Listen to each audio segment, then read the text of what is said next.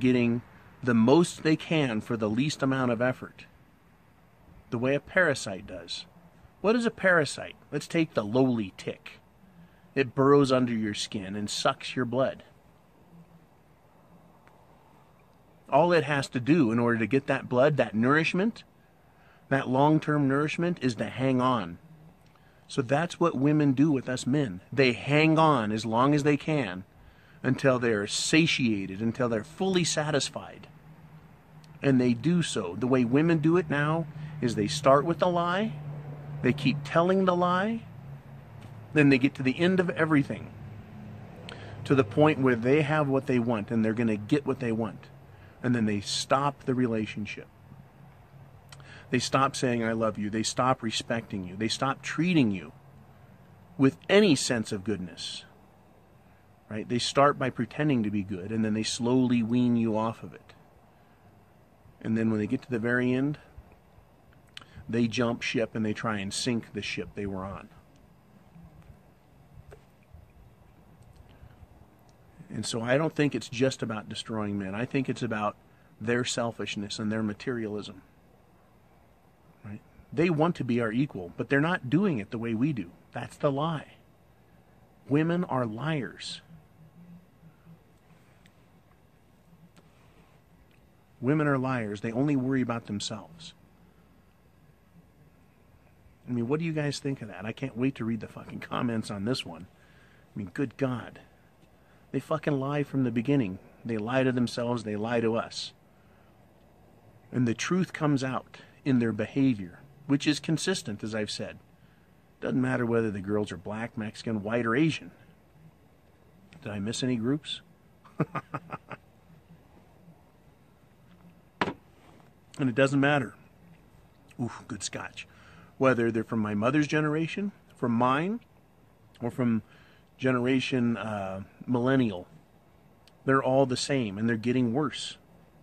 They're actually becoming more blatant about it. Right? They're begging men now to take them in some cases because men are wising up. And as soon as they get you to listen, then they come after you. Then they start with the same old shit guilt and shame. It's the same shit. The bluff. I did a video on bluffing. I thought it was a great video. Your guys' response to it was great. But it has to do with them lying. A bluff is a lie. Right? By selling you, hey, you go sleep on the couch. And you call their bluff and say, no, no, no, I'm not sleeping on the couch. You go out the fucking door. Right?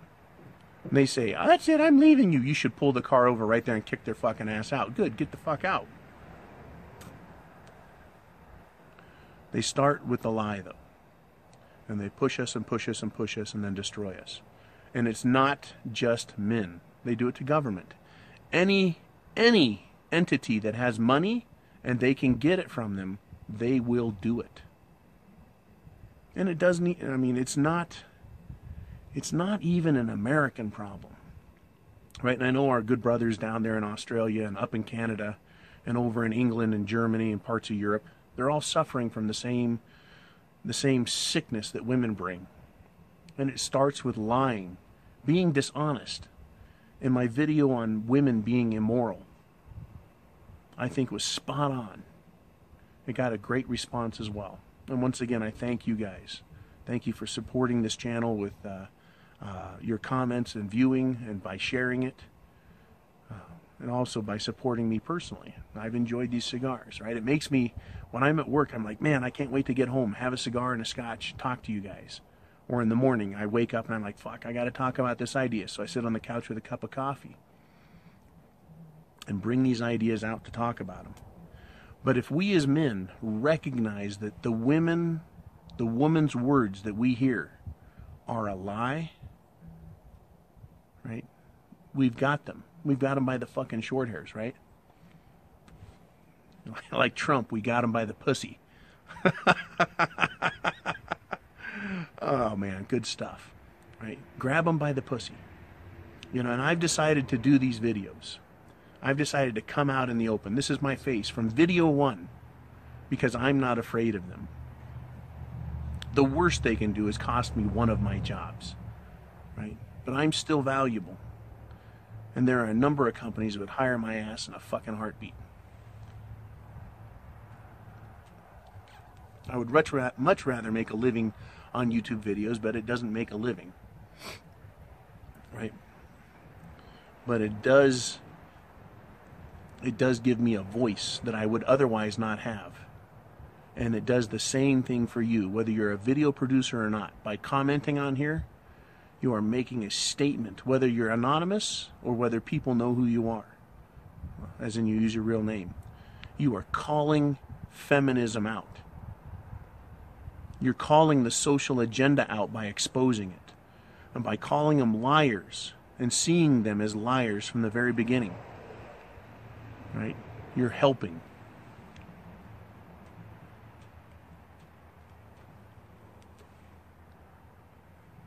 What else can we do? Fuck, what else you gonna do? You know, I don't want to put down red pill guys. I don't want to put down purple pill guys or blue pill guys. We're all just seeing this from a different perspective. You younger guys out there who haven't been fucked yet, right? In your MGTOW, you've got a clear advantage. You should be very pleased that you're in that position. Us older guys that are divorced, fuck, we've lived it, man. We've felt the pain. Some guys more than once.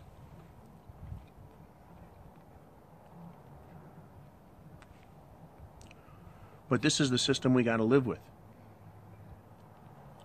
Women lie to you all the time, and you've got to know it. No longer can you trust them. It was always a mistake to trust women, to believe that what they're saying is genuine. We should have never given them that, right? That is making them our equals. Because men can be honest with other men. When they don't, we cut them the fuck off, right? If you've got a friend who isn't honest with you, who tries stealing your shit, what do you do? You fucking out them and throw them the fuck out of your life. Why do women get a pass? Government has no problem giving women all this free money. Why? Because it's not their fucking money. They come and get money from us, you, the taxpayer. And then they give it out to women and go, yeah, yeah, yeah, you've had it rough. Boy, you know, we're going to have to retire you early and give you all kinds of money. That's the system that we're dealing with.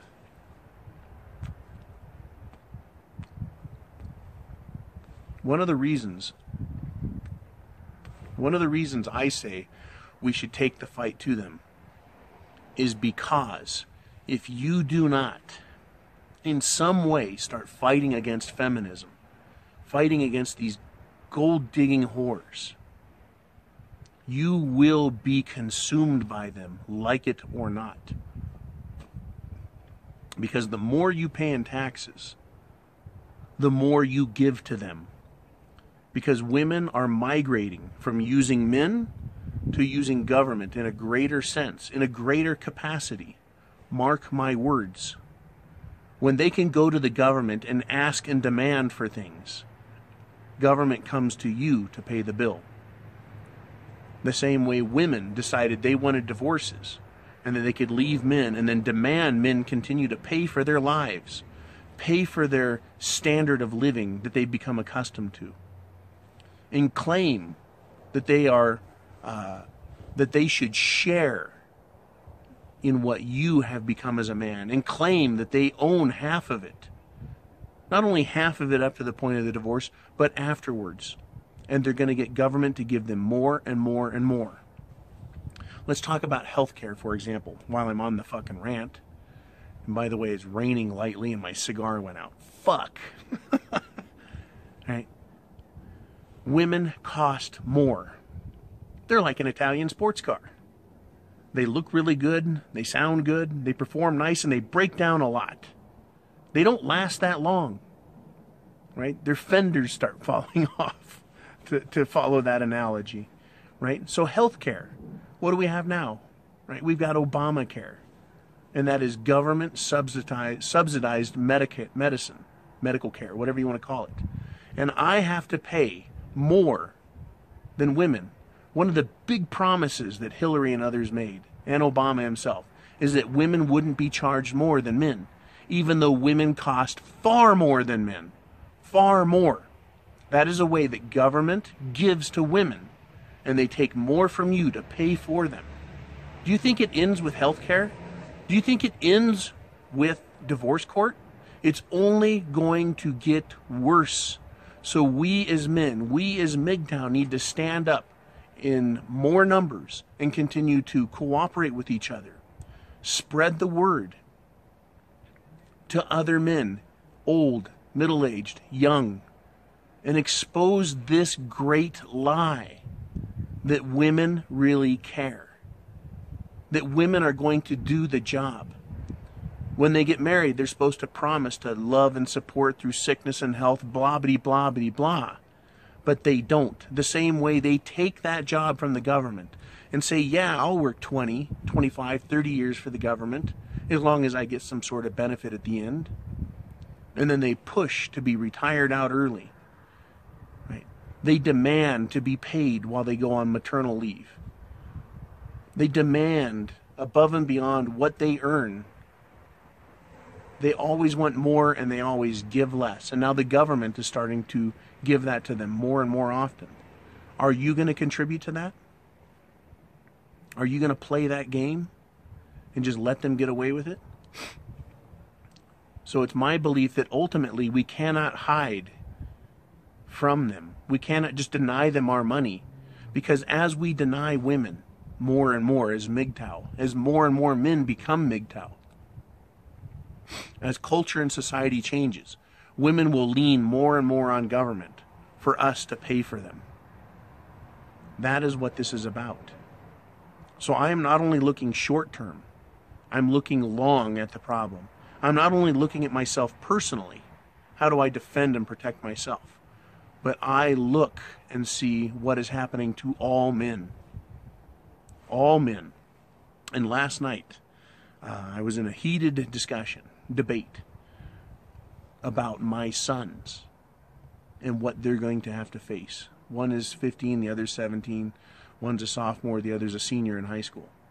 And they're going to go out into the world, and there are going to be women, vampires, ready and willing to lie in order to get into their wallets and get into their lives.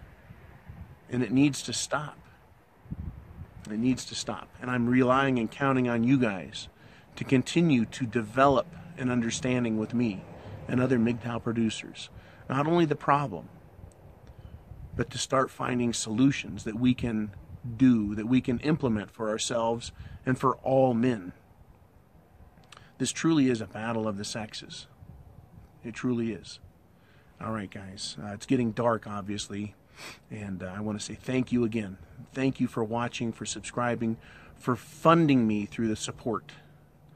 You know, for clicking on my videos and all MGTOW videos, and for giving us all a big fat thumbs up. Every video, every MGTOW producer, step up and hit that share button. Tell every man you know, get out there and encourage them to be men. The same way I encourage on this channel. I want to educate, I want to share, and I want to encourage men to be men. To not be ashamed of being men. Never be ashamed. Never apologize for being a man. That is key to their lie. That you owe them, right? And it's your fault. It's not. It's their fault for being indoctrinated and accepting the lie. All right, more on this later. You guys are awesome. Remember, wake up, look in the mirror. I have the penis. You go out and make it happen. And then once you've got yourself centered and you're strong in yourself, then you can look out and start affecting the world around you. I'll see you guys later. Semper Fi.